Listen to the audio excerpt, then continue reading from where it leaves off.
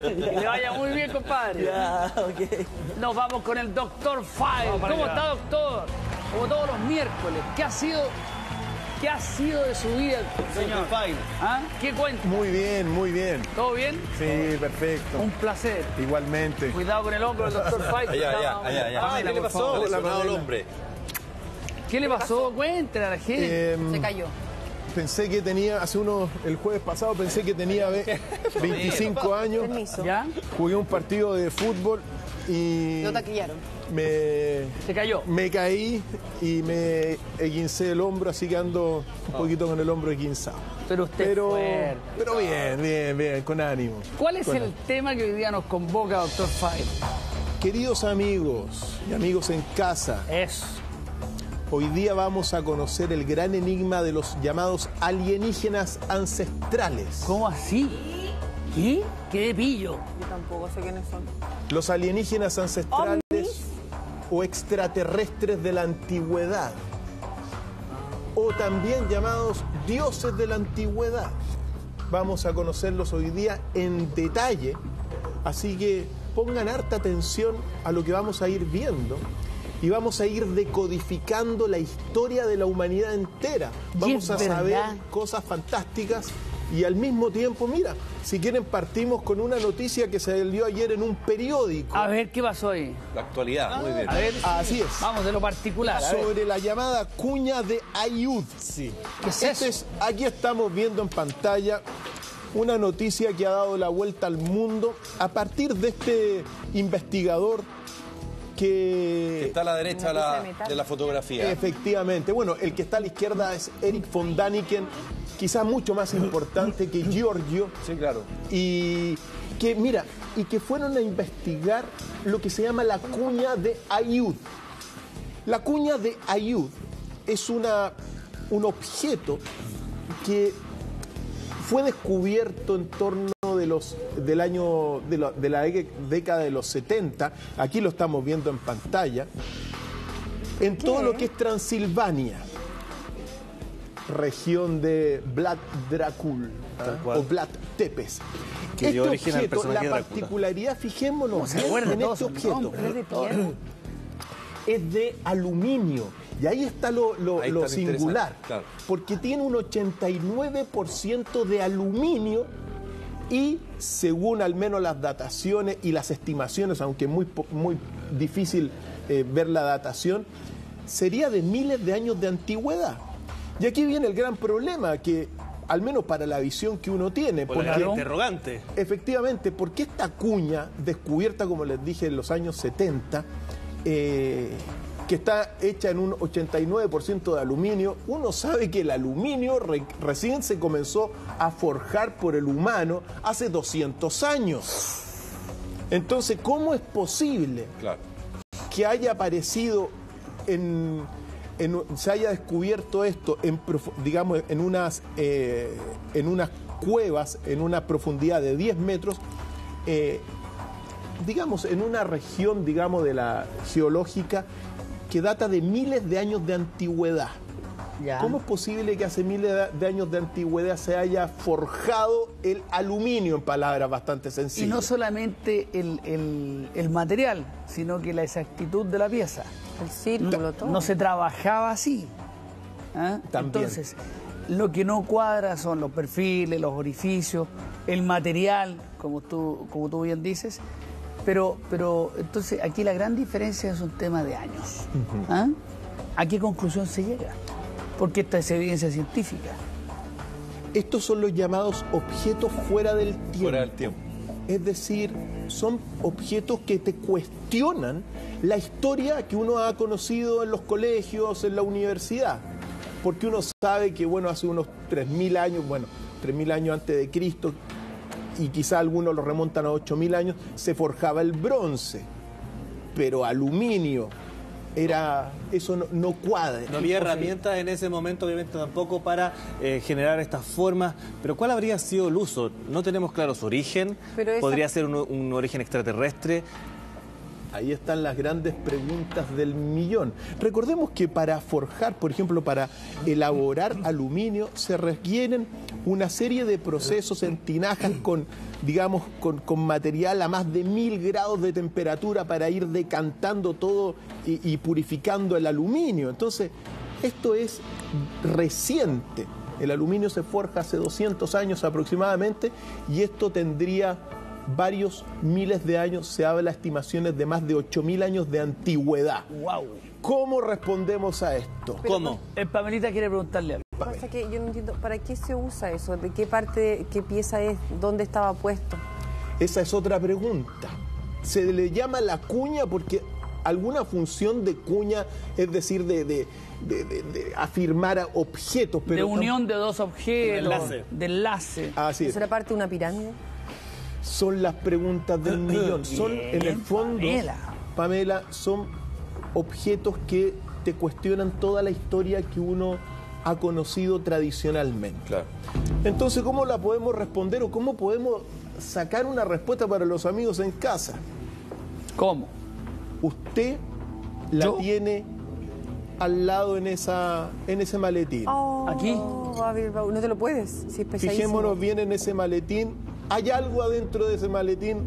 Por favor, Con cuidado. Rafa, abre el maletín de nuestros tesoros.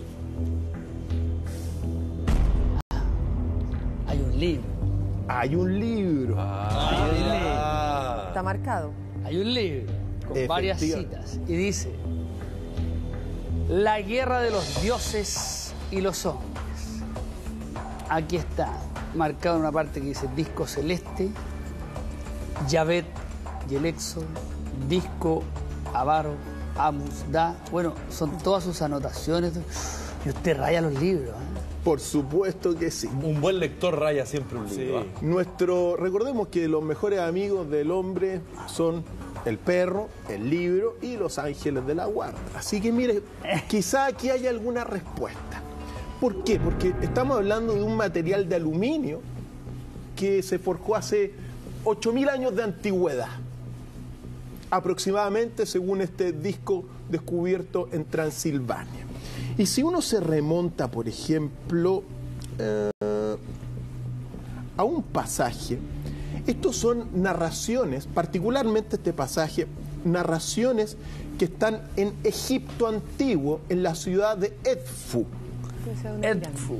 Fijémonos bien, porque vamos a meternos en estos dioses o extraterrestres de la antigüedad o alienígenas ancestrales, quiénes eran o si existieron en realidad o si estos dioses de la antigüedad son simplemente fantasía, cosa que no me parece, pero miremos bien.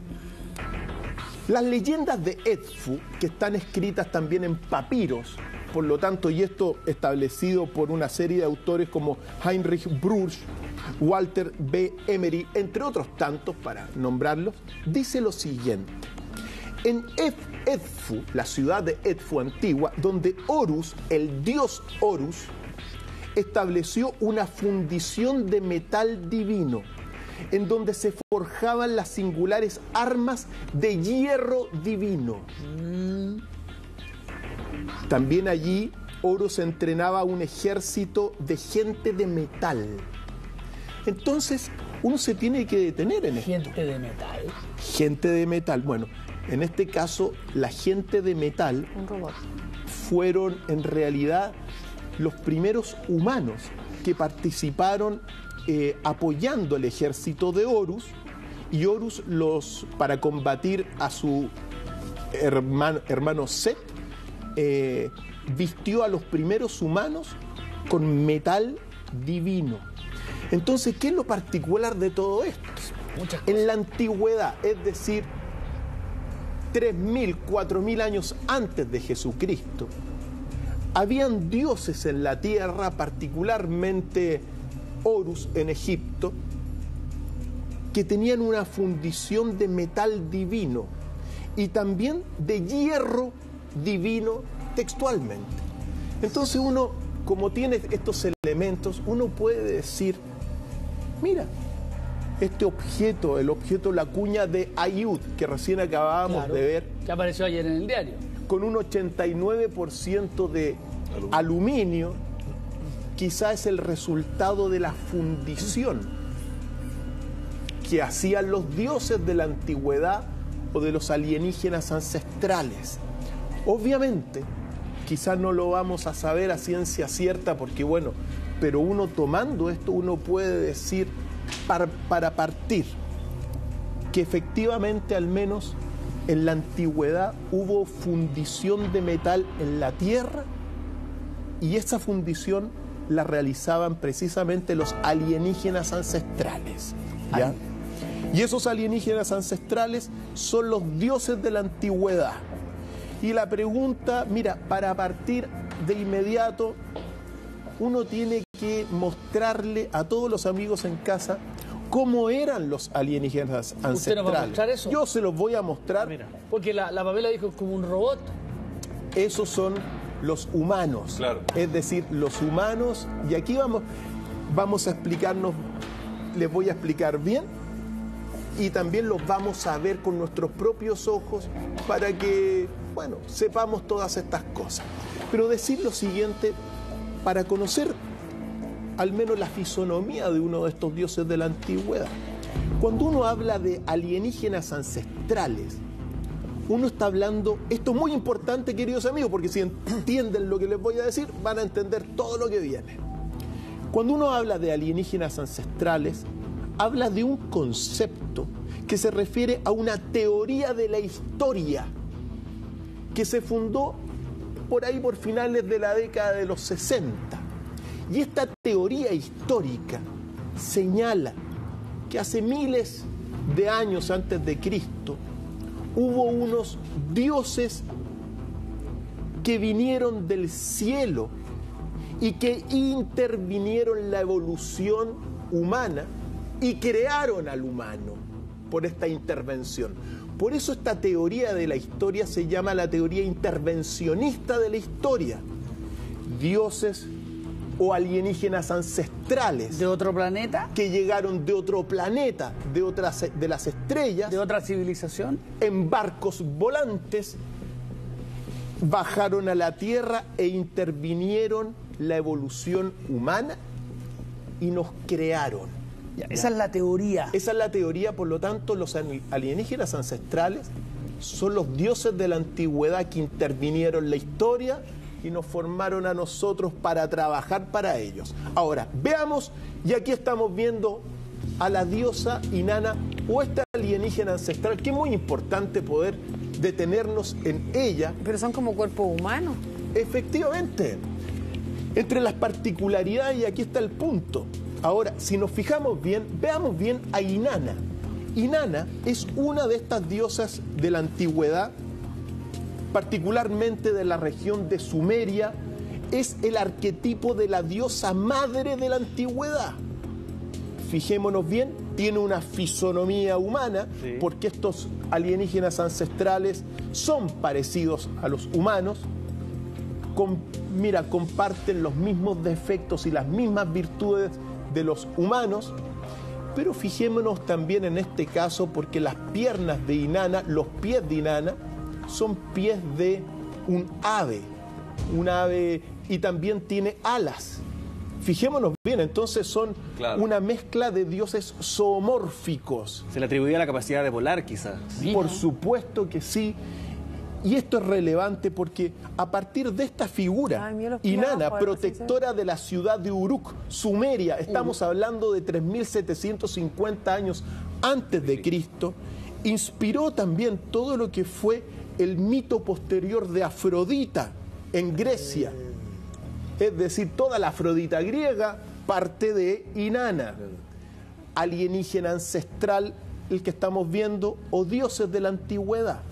Lo particular, lo particular de todo esto es que según todas las crónicas, uno cuando habla de dioses no está hablando de un ser etéreo, no está hablando de un ser eh, inmaterial, sino que estamos hablando de figuras de carne y hueso y que está reflejado en, esta, en este relieve. Los, pies los pueden congelar y poner en el Ahí Sí. ahí está. mira. ¿Ah? Ahí está. el plasma Ahí lo pueden está, poner. Ahí está. ¿Y por qué Acá. los búhos? Mira qué extraño esto, doctor. ¿Qué tiene que ver un búho? Unos símbolos, dos búhos, unos lobitos parece. Sí, Un búho. efectivamente. Y tres dedos. Efectivamente.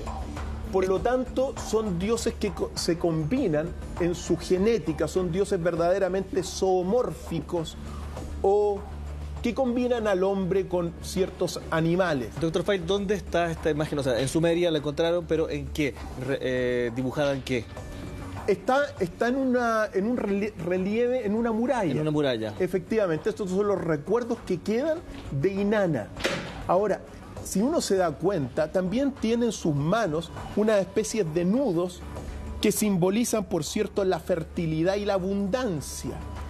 E Inanna, en este sentido, tiene una historia fantástica porque, bueno, hay muchos pasajes que hablan de la historia de este verdadera, verdadero alienígena ancestral. Entre las tantas cosas, ¿Qué uno puede... las manos? Perdón que te interrumpa, pero ¿qué tienen las manos? ¿A dónde? ¿En qué parte? Tiene unas especies de nudos. Como que están Ah, no, pero está como enganchado como que la amarraron. pie- o- en un palo. Esos, esos nudos, bueno, esos nudos o, o, bueno, objetos o símbolos representan la abundancia y también la fertilidad. Ah. Es la diosa, por cierto, Perdón. del amor, pero también la diosa de la guerra en todo el antiguo, el antiguo, bueno, Sumeria. ¿Y quién hace esto? ¿Quién hace este dibujo, esta... Esto quedó, estamos hablando, mira, de la ciudad de Uruk, particularmente el periodo de Uru- de Uruk en la antigua Mesopotamia data del 3750 a.C. al 3100 a.C. Ahora, ese periodo de Uruk es quizá en la historia de la humanidad el periodo más creativo que ha vivido todo lo- todos los humanos, eh, quizá con excepción del siglo XIX y el siglo XX, donde hay mucha creatividad, pero es en ese periodo de Uruk, con la presencia de estos dioses, donde, por ejemplo, se inventa el arado, se inventa la rueda, y por cierto surge la escritura, Estamos hablando de qué zona geográfica actu- en, la, en la actualidad. actual Irak, Actual Irak. Perfecto. actual Irak. Ahora, Que parece ser cuna de muchas civilizaciones. Por supuesto Sí, claro. que sí. Ahora, uno tiene que decir, según las tablillas sumerias, y me permito señalarlo con claridad para que los amigos en casa, cuáles eran las características de estos alienígenas ancestrales o dioses. Y uno tiene que señalarlo con claridad. Estos dioses compartían la apariencia, las cualidades, las faltas y las pasiones de los seres humanos. Es decir, No eran perfectos. no eran perfectos. Nuestras ¿ya? propias debilidades. Así mismo. Pero estaban dotados de una extraordinaria fuerza y unos poderes sobrenaturales y disfrutaban de la inmortalidad. Inmortalidad que realmente para los humanos eran inmortales. Claro. Para ellos, eh, los dioses también mueren, pero en eones de tiempos, ¿ya? Entonces, también otro detalle, Eones. eon- son grandes mediciones del tiempo, ¿ya? Son, pensemos nosotros vivimos Miles con suerte, y a veces millones de años, ¿ya? Porque las escalas temporales en el universo que donde habitan los dioses Son escala humana. Claro. Y no son escala humana. Efectivamente. Ahora, entre las particularidades de estos dioses de la antigüedad, dicen, además, emanaba de ellos un esplendor, un nimbo de luz que aterrorizaba al hombre y que le infundía el respeto y le inspiraba este indecible sentimiento de contacto con lo divino en el que reside la esencia de toda religión. Por lo tanto, cuando uno lee las tablillas sumerias, porque aquí estamos hablando, estoy sacando la- las tablillas sumerias antiguas, uno tiene que decir lo siguiente, en palabras bastante sencillas. Estos alienígenas ancestrales, en primer lugar, parecidos a los humanos, en sus virtudes, en sus vicios. Ojo que algunos eran zoomórficos, es decir, eran mitad hombres, mitad animales también, O compártete, hermano. o con partes de animales, como veíamos a Inanna y la estamos viendo, pero al mismo tiempo eh, tenían una fuerza enorme, poderes sobrenaturales, en ocasiones eran gigantes verdaderamente en comparación con los humanos y gozaban de la inmortalidad. Y al mismo tiempo, en palabras bastante sencillas, como decía, la característica quizá más importante para el humano es que de su cuerpo se emitía un nimbo de luz, un resplandor de luz que atemorizaba al hombre y que le infundía esa sensación necesaria para todo lo que fue la religión. Y por lo tanto eran superiores. totalmente Y superiores. había que rendirle culto. Por supuesto que sí. O sea, generaban en el humano inseguridad, desconocimiento, eso te genera preocupación y el temor Y miedo. te hace creer muchas cosas, ¿o no? Claro. y miedo. Entonces cuando uno habla, mira, y aquí está el punto, mira, es tremendamente relevante señalar que estos dioses no es, no es como los dioses o el dios actual del monoteísmo que está suspendido en los cielos y que uno como que se comunica espiritualmente. Y que lo ve en el, el más desvalido, eh, el que está en problemas, ¿no es verdad? Estos dioses de la antigüedad, tú los podías ver. Habitaban, por cierto, los sigurat o las pirámides de Mesopotamia. Por lo tanto, ellos regían la tierra. Y según todo lo que uno vamos a ir viendo, y esto también es tremendamente significativo, eh, estamos hablando de un periodo de la historia prehumano. En la tierra en este periodo no habían humanos, como lo señalan varios pasajes. Es decir, no habían simplemente ¿Y animales habían? animales habían. Me permito leer una pequeña tablilla también dice. En aquellos remotos días solo los dioses habitaban Nippur, que es una ciudad también de Mesopotamia, y el hombre no había sido creado. Por lo tanto, en la tierra solamente habían dioses. ¿Qué estaban haciendo esos dioses? Estaban fundiendo metales. ¿Metales para qué? ¿Para qué? Bueno, para sus naves espaciales, para sus discos volantes, porque esos son sus barcos celestes que están escritos. Entonces, uno no, no puede decir, cuando uno se remonta a todas las antiguas eh, tradiciones, es como que uno no puede decir que este, este periodo de los dioses no existió. De hecho, hay una, una obra de un gran autor que se llama Manetón Egipcio. Y se dice que antes de la unificación del Alto y del Bajo Egipto, sobre la tierra hubo dinastías de 13.000 años de antigüedad prehumanas donde gobernaban los dioses. ¿Quiénes eran estos dioses? Inanna. ¿Y Nana era Horus. buena o mala? En aquel entonces ningún dios era puramente bueno y puramente malo. Por ejemplo, Inanna. Sí, y- Inanna, lo que pasa es que el- es, es muy, muy buena la pregunta porque este concepto del bueno y malo es solamente cuando aparece el monoteísmo. Claro. Pero nosotros estamos hablando ahora de un politeísmo. Y en los politeísmos no vas a encontrar el Dios absoluto de la maldad Ni el más bueno. ni el más bueno. Por ejemplo, Inanna, como te decía, era también eh, diosa del amor, pero también diosa de la guerra. E incluso en un pasaje, Inanna, esto es relevante para ir conociendo cómo eran estos dioses, eh, porque ella baja, según los relatos, siendo diosa del amor, siendo diosa del cielo en ese sentido, la madre por el arquetipo de la diosa madre por antonomasia, ella también desea ir a los infiernos y baja a los infiernos. Y ahí se relata lo siguiente. Nadie puede surgir indemne del imperio de las sombras. Si Inanna quiere surgir del imperio de las sombras, que deje un representante. ¿Qué es lo que sucede? Ella baja al imperio de las sombras y al regresar le dicen esto. Tiene que dejar a un, a un representante Claro. porque aquí no, no se las va a llevar Gratis. así gratis. Y en consecuencia, ella cuando sale de la tierra, esto es importante para darnos cuenta cómo, cómo se van forjando al menos estos relatos. Los demonios pequeños, los demonios grandes, no se apartaban de ella.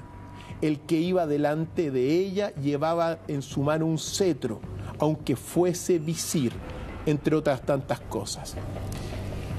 Cuando ella sale, su... Mira, lo que hace ella, en palabras bastante sencillas, comienza a buscar a qué representante dárselo a los infiernos. Y se encuentra, y no encuentra, viaja ciudad por ciudad encontrando uno, no encuentra ninguno, hasta que llega donde está su esposo Tamuz, que era otro dios. Ah, tenían esposo. Por su... Los- estos alienígenas ancestrales son como los humanos. Nos crearon a nosotros como lo vamos a ver, con las cualidades y con los vicios. Por lo tanto, nosotros somos un reflejo de ellos, pero no somos inmortales, no tenemos grandes poderes sobrenaturales, no tenemos un gran nimbo de luz aparente, salvo para los budistas. ¿Y en qué otras- momento se pierden esas capacidades extraordinarias? El humano, según esto, no fue Nunca tuvo esa capacidad. nunca tuvo, sino que fue creado para trabajar para los dioses. Así es el, el- el tema. esclavos. Sí, esclavos. De hecho, lo que esto es muy relevante porque las tradiciones señalan que en la tierra 13.000 años antes de Cristo habitaban estos dioses y, y entre las cosas que hacían forjaban metales, el oro, el hierro divino, quizá el aluminio también. O sea, la Tierra era una maestranza, el planeta Tierra era una maestranza, una fábrica. Tú lo dijiste, ¿ya? ¿Para qué? Bueno, para todo lo que ellos necesitaban, los metales en el universo mismo, para sus barcos volantes, para sus discos voladores, como está señalado, porque todos estos seres bajaron del cielo en discos volantes o en barcos volantes, que uno lo puede atribuir a todo lo que son los ovnis o naves extraterrestres, ¿ya? Eso al menos lo que señalan los textos. Y después se surgió aquí en la tierra un gran conflicto divino. Es decir, algunos dioses, porque uno tiene que decir la jerarquía divina es muy variada. En el antiguo panteón politeísta están los grandes dioses superiores, An, Enlil y Enki, que es una trinidad cósmica. Después vienen una serie de otros dioses menores del firmamento y hay otros incluso aún menores. Bueno, los dioses más pequeños en este sentido estaban aquí trabajando los metales y en consecuencia se rebelaron, según las tradiciones, y hubo una gran guerra de dioses aquí en la tierra. Unos no querían trabajar, no querían seguir haciendo este trabajo de obrero, y otros lo obligaban a hacerlo. Entonces hubo una gran rebelión de dioses. Y producto de esta rebelión de dioses, se va finalmente a llegar a un acuerdo de crear a la humanidad. Y esto es muy importante porque ¿para qué se crea la humanidad, Pamela? ¿Ya? No sé, doctor. Se crea la humanidad para hacer el trabajo de los dioses. ¿Y cómo se crea la humanidad según las tablillas sumerias? ¿Cómo? se toma a un dios de estos dioses que se revelaron, que se llamaba, al menos en, en una de las tablillas, se llama el dios Kingu. Kingu comandó la rebelión contra los dioses superiores que lo hacían trabajar a los inferiores forjando materiales y minerales y otras tantas cosas. Y Kingu fue tomado preso, prisionero, Por. por los dioses mayores, ¿ya? particularmente por Marduk y entre bueno y por una por otros tantos dioses. ¿Qué es lo que sucedió? Y aquí está el punto. Deciden crear a los humanos. ¿Cómo crean a los humanos? En palabras bastante sencillas les voy a leer esta tablilla de Por 3.700 favor. años unos 3.000 años antes de Cristo y dice, haré un haz de sangre una osamenta y alzaré un ser humano cuyo nombre será hombre. Quiero crear a este ser humano, a este hombre, para que encargado del servicio de los dioses, estos puedan estar en paz. Para que los dioses estén en paz. Claro, para que se termine la rebelión. Efectivamente. Entonces, primer elemento, cuando uno observa esto, el humano es una mezcla entre una osamenta, es decir, entre un homo que estaba evolucionando y la sangre divina del dios, en este caso Kingu. Hay otros pasajes que hablan de otras combinaciones también, pero siempre está el elemento, y aquí está quizá el núcleo de toda la teoría de los alienígenas ancestrales o teoría intervencionista de la historia, que te señala que en realidad estos dioses que bajaron del cielo intervinieron la evolución humana y crearon al humano con una sangre divina. Nos vamos a separar brevemente y seguimos aquí en la mañana con este interesante relato del Dr. File, alienígenas ancestrales.